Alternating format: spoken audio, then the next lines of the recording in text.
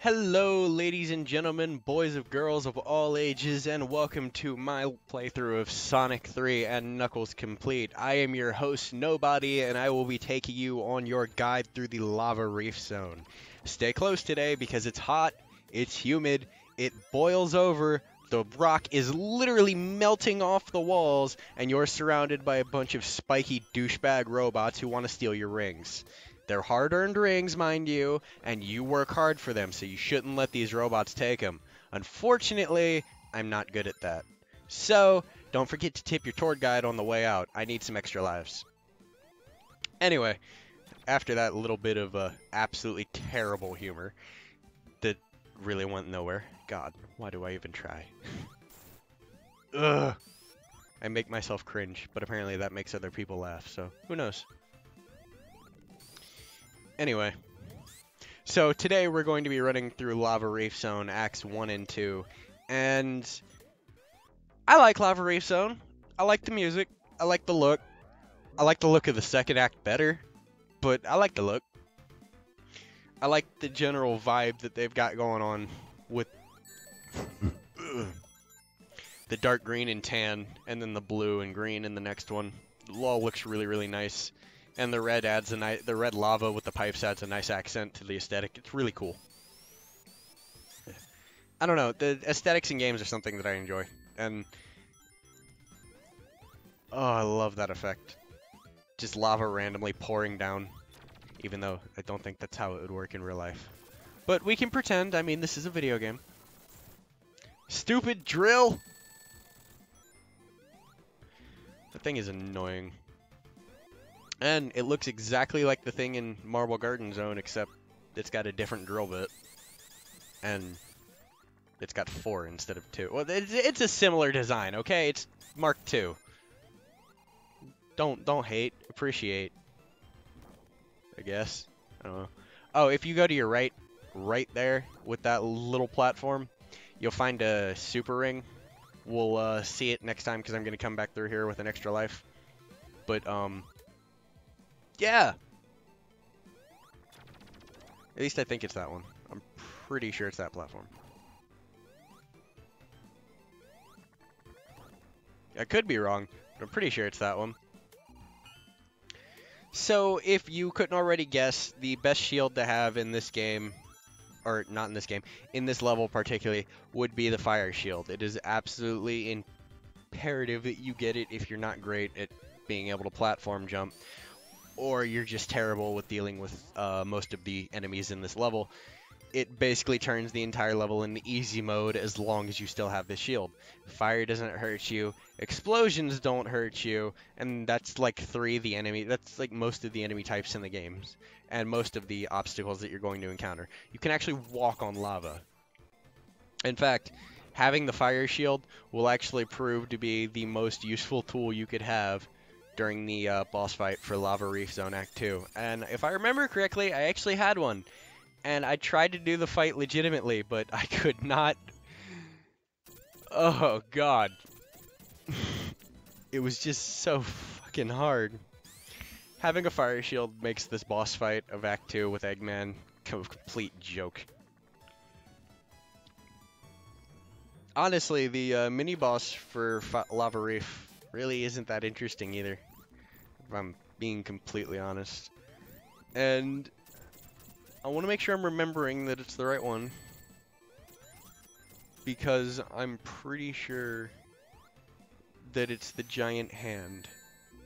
And the giant hand Redo! is annoying. Very, very, very annoying. I don't like the giant hand.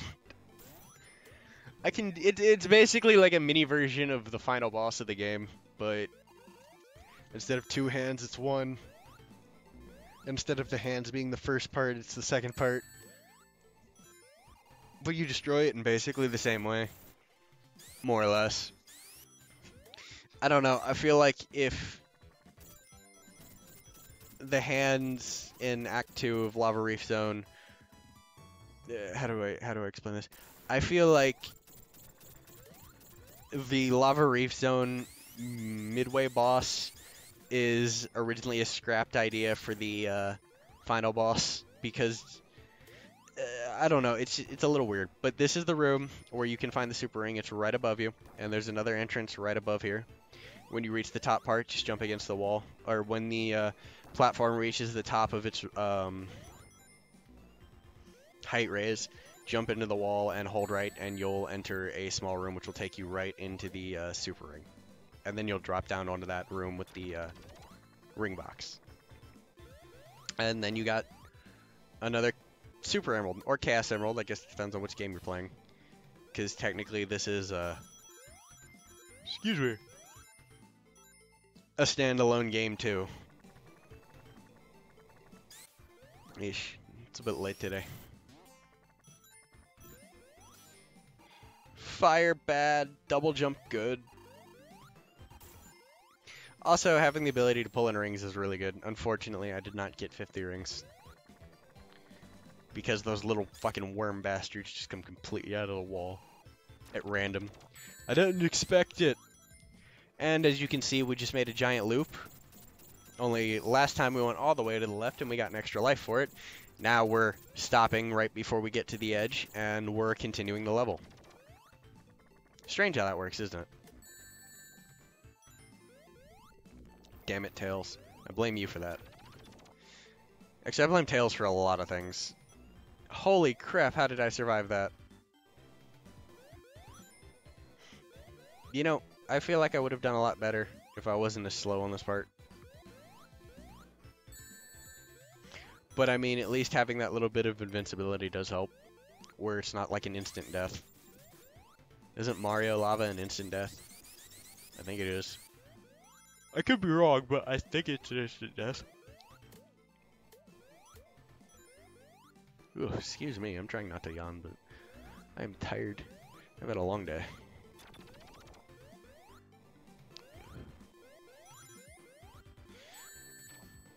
Music for Lava Reef Zone is probably the best part, honestly. I don't know why, but... Which is strange, because when I first heard this, I really, really did not like it. And that's not to say it's bad, but it just...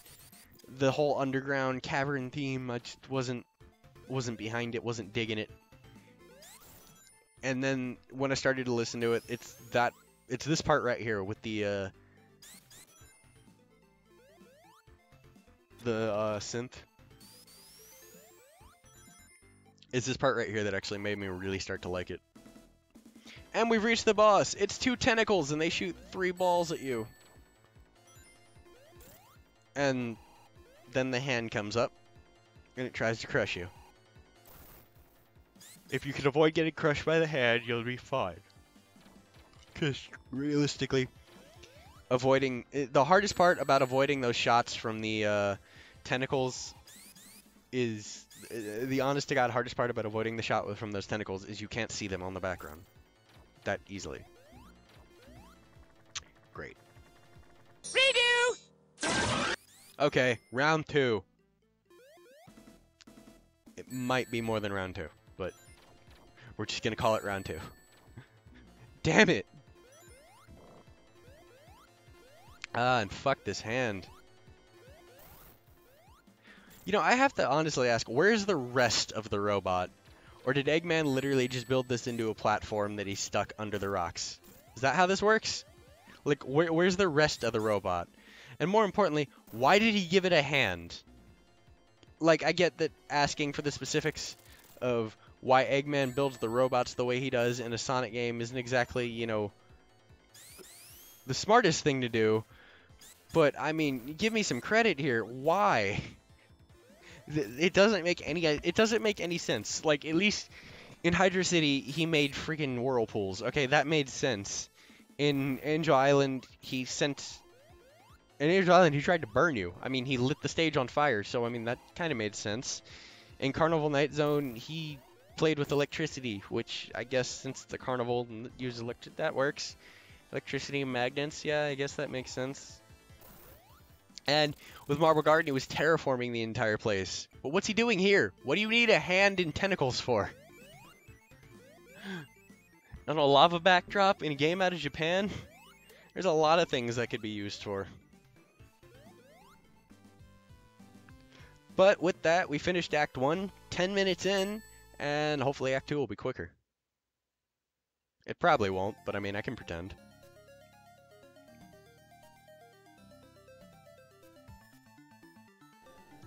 Lava Reef Zone Act 2, an even better version of the first one, music-wise. See, this I enjoy, and I don't know why.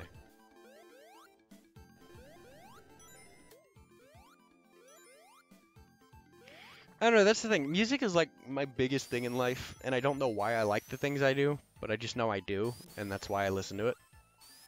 So it's really hard to explain to people why I don't like something, because it's usually not because, oh, the tempo's too fast, or I just don't like that genre, or I'm not a fan of rap, or, you know, nothing like that. It's because there are things that I like that like I'm not a rap guy, but I like a lot of Dwayne and Brando.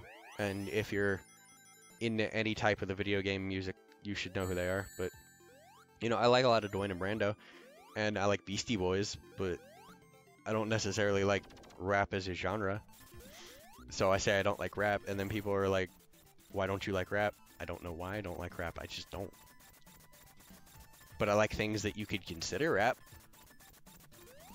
But like Eminem and Lil Wayne and Waka Flocka Lemon Juice, whatever the hell you want to call them. All these freaking weird names.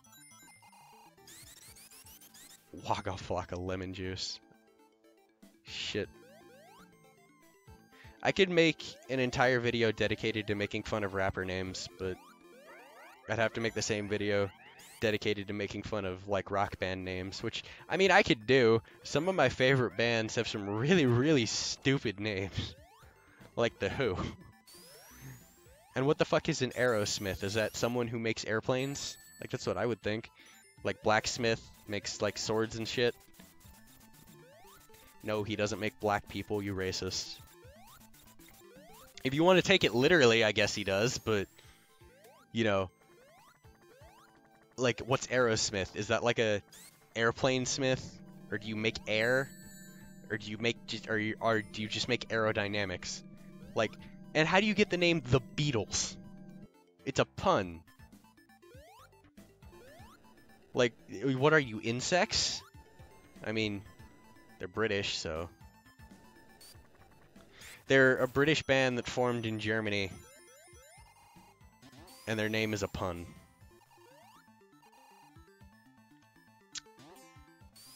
and by all intents and purposes, they're basically a boy band. I don't know. I'm not much of a big fan of the Beatles. I like some of their songs, but I'm not like the world's largest Beatles fan. I a lot of people consider the Beatles like the greatest rock band on the face of the earth, and I do not. I consider them the godfathers of modern rock as you know it today, more or less. But just because you started a movement does not mean you're the best at the movement. At that point, we may as well consider, I don't know, what were the uh, four original NFL team, or what were the four original football teams in America? They're the best because they're the oldest. By default, that means England's the best because it's older than America. But as an American, I don't subscribe to that mindset. But I'm not gonna. That's just you know typical I like my country more than I like that country. So it's just an opinion. I don't really honestly think there's any measurable difference between them that I want to go into. Because, I mean, I could sit here and talk about the differences between America and Britain all day long. There'd be a lot of differences, and Britain has some things better. America has a better entertainment industry. But, uh, aside from that, I don't really there's no point to it. They're just countries, and I like mine better because I live here. So. And as we reach the top of the level of Act 2, Knuckles decides to push us into the boss fight. This is... The last three acts in the game all have boss fights that have multiple, uh... What's the phrase I'm looking for? Multiple gimmicks to them. Oh, And also, interesting enough, I actually did this particular part of the freaking uh, boss fight on the first try, which is something I've never done before. I felt good about that. and I don't even have a fire shield. Some of you might be saying to yourself, well, that's not that hard. Well, it was for me, so I feel accomplished. Unfortunately, just because it was proud for me doesn't necessarily mean I'm going to be good at it. Ooh. That sounds like some bad thunder. It's storming outside. But uh, we have to wait for this platform to descend into the lava before the boss fight can begins. But once it gets there, Eggman will pop out of the right side of the screen, and what he does is he lobs three spike balls into the air. They drop down near the platforms that you're supposed to jump on, and they slide into Eggman, so he essentially damages himself. Well, if you have the fire shield, this becomes a lot easier because you're not bound to standing on the platforms. You can stand wherever you want, as long as it's not on a spike ball. Unfortunately, as uh, I just demonstrated, it's kind of easy to lose it because the spike balls will line up with the platforms, and um, they do poke through, which is kind of annoying, but, you know, whatever. And I think he takes 12 hits. It's either 10 or 12, and we got 9 on him so far. I think it's 12. Could be wrong.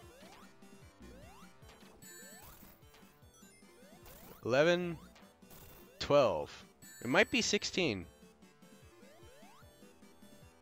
I don't know why it would be that, but it might be. At least I'm pretty sure we got Ah, uh, yeah, that's right. Redo! That sucks. Damn it! uh, unfortunately, even if you do have the fire shield, this boss can still prove to be a uh, bit of a pain in the rear end. Really, the only way you're going to get past every boss in this game with relative ease is if you get the Chaos Emeralds, which is the reward. You spent the time in the special stages, so you get to cheese the bosses. But I'm not doing that. For this one.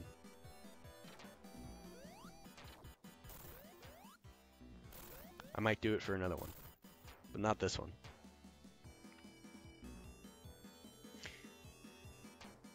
But you can see we got three hits. And you know, I'll even count them this time. Just to make sure. Four, five, six